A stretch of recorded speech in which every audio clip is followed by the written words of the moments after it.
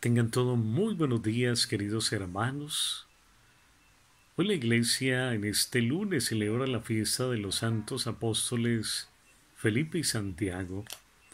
Vamos a agradecerle al Señor la bondad de darnos la bendición de la vida, de colocar en sus manos nuestras familias, de seguir orando ante esta pandemia con una esperanza de que todo va a cambiar y seguir pidiéndole al Señor por los médicos, las enfermeras, por toda la parte que asiste humanitariamente y da esa labor en ayuda de los demás. Vamos a reflexionar en el Evangelio de San Juan capítulo 14, versículos 6 y siguientes. En aquel tiempo dijo Jesús a Tomás, Yo soy el camino, la verdad y la vida. Nadie va al Padre sino por mí.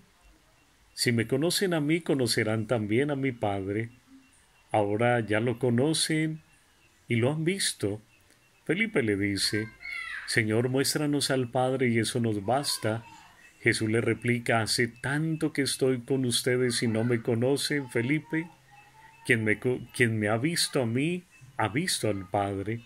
¿Cómo dices tú, muéstranos al Padre? ¿No crees que yo estoy en el Padre y el Padre en mí? Lo que yo les digo no lo hablo por cuenta propia. El Padre que permanece en mí hace sus obras. Palabra del Señor. Muy queridos hermanos, celebramos hoy la fiesta de los santos apóstoles Felipe y Santiago. Felipe llevó a muchos hacia Jesús y Santiago un hombre muy apreciado por la Iglesia. Ellos fueron testigos de Cristo por medio de la predicación del anuncio del Evangelio. Cuando la Iglesia nos invita a celebrar la fiesta de un apóstol, que significa enviado, nos lleva a celebrar la evangelización, es decir, que el nombre del Señor sea conocido, sea amado y sea imitado por toda la creación y también a renovar nuestro compromiso por participar en la misión de la Iglesia, que es evangelizar, difundiendo la buena noticia de la presencia de Dios en el mundo y en la vida propia. Por eso el Señor es y será el camino, la verdad y la vida para todos los hombres, Nadie va al Padre sino por mí. Preguntémonos entonces, ¿cómo podemos llegar al Padre? Y podemos responder haciendo la voluntad de su Hijo Jesús, cumpliendo sus mandatos y amando al prójimo como a uno mismo, agradándolo en todo lo que hacemos, haciendo el bien, y sobre todo creyendo por nuestra fe. Pero nos puede pasar como le pasó a los apóstoles y especialmente a Felipe, que dijo, Muéstranos al Padre y eso nos basta.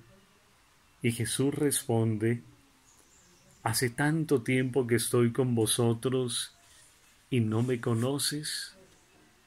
Esta es una verdad que tenemos que reconocer.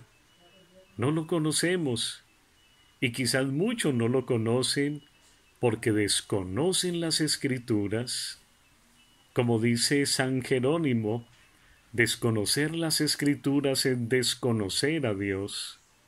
¿Cuánto tiempo hemos perdido sin Dios en este mundo? Y no lo reconocemos porque no nos hemos dejado evangelizar o formar como discípulos creemos que con solo respirar y tener la vida y todas sus comodidades, eso es suficiente. Siempre hay que ir más allá. Y recordemos, el Señor no nos quita nada, Él nos da todo, si nos acercamos a Él. Ángel de mi guarda, mi dulce compañía, no me desamparen ni de noche ni de día, hace que me ponga en paz y alegría con todos los santos Jesús, José y María. Amén.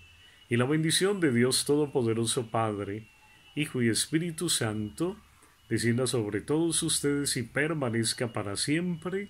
Amén. Amén. Un buen día para todos, Dios los bendiga y los acompañe.